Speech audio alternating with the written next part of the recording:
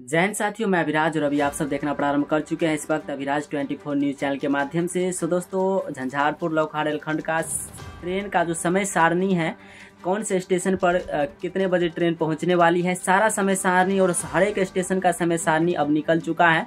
और इसी महीने जो है सो ट्रेन इस महीने के जो है सो लास्ट टू लास्ट ट्रेन चालू होने जा रहा है तो आप सब वीडियो में बने रहे अगर आपसे जो है आप सबको मैं सारा जानकारी बताऊँगा किस स्टेशन पर कितने बजे ट्रेन पहुंचो, पहुंचेगा जो है। सो सभी अपडेट आप सबको इसी वीडियो में दिखाने वाला हूँ, जो कि सामने देख सकते हैं ये लिस्ट इसी लिस्ट के माध्यम से मैं आप सबको दिखाऊँगा और बताऊँगा। तो आप सब सबसे पहले चैनल पर नए हैं चैनल को फटाफट सब्सक्राइब कर लीजिएगा वीडियो को लाइक कर दीजिएगा और अपने सभी दोस्तों में ज़्यादा से ज़्यादा इस वीडियो को शेयर करने का भी प्रयास कीजिएगा। चलिए आप तो वीडियो स्टार्ट करते हैं। आप सब वीडियो में बने रहिए और लास्ट तक ज़रूर देखिएगा। तो दोस्तों सामने में देख सकते हैं, ये लिस्ट जो कि रेलवे गवर्नमेंट के माध्यम से जारी किया गया ये लिस्ट है, जिसमें लिखा गया है, झंझारपुर से लौखा नई रेल लाइन के बीच इसी महीने शुरू होगी ट्रेन सेवा समय सारणी जारी, जो कि देख सकते हैं सामने में मैं आप सबको दिखा दूँ कि यहाँ पर आप सबको स्टेशन का नाम जो कि जेजेपी लिखा गया है जैसे कि मैं आप सबको बता दूँ जेजेपी का मतलब झंझारपुर जंक्शन जिसका शॉर्टकट नाम दिया गया है। कहा जा रहा है कि यहाँ पर देख सकते हैं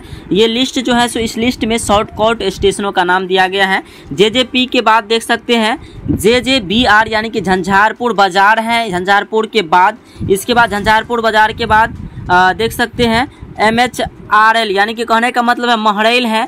इसके बाद C D N A Chandeshwar स्थान, इसके बाद वी पी आए वाचस्पति नगर इसके बाद बी यानी कि Barhara S B B Sardar Vallabh Bhai Patel के एच टी एन कहने का मतलब खोटौना स्टेशन इसके बाद एल के क्यू कहने का मतलब है लौकहा बाज़ार दोस्तों। तो ये सभी स्टेशनों का नाम शॉर्टकट में दिया गया है। तो इस रूट का समय सारणी है दोस्तों नौ बजे जब सुबह में अगर खुलता है लौकहा से तो साढ़े दस बजे जो है सो झंझारपुर जंक्शन पहुँचा देगा। दूसरी ट्रेन की मैं बात करूँ दोस्तों तो लौकहा से आठ बजकर दूसरी ट्रेन खुलेगी तो सवा नौ बजे आपको झंझारपुर पहुँचा देगा। तो दोस्तों उम्मीद करता हूँ आप सबके जानकारी अच्छा लगा होगा। तो ऐसे ही नई नई जानकारी के लिए आप सब मेरे चैनल पर नए हैं, चैनल को फटाफट सब्सक्राइब कर लीजिए और इस वीडियो को कमेंट बॉक्स में अपना नाम भी लिखकर ज़रूर बताएगा कहाँ से वीडियो को वॉच कर रहे हैं, कहाँ से देख रहे हैं, उस जगह का भी नाम कमेंट बॉक्स में ज़रूर बताएगा दोस्तों, ताकि मैं आप सबके लिए इसी तरह का नया नया अपडेट लाता रहूँ। तब तक के लिए मिलते किसी नए अपडेट और नए जानकारी के साथ। जय हिंद,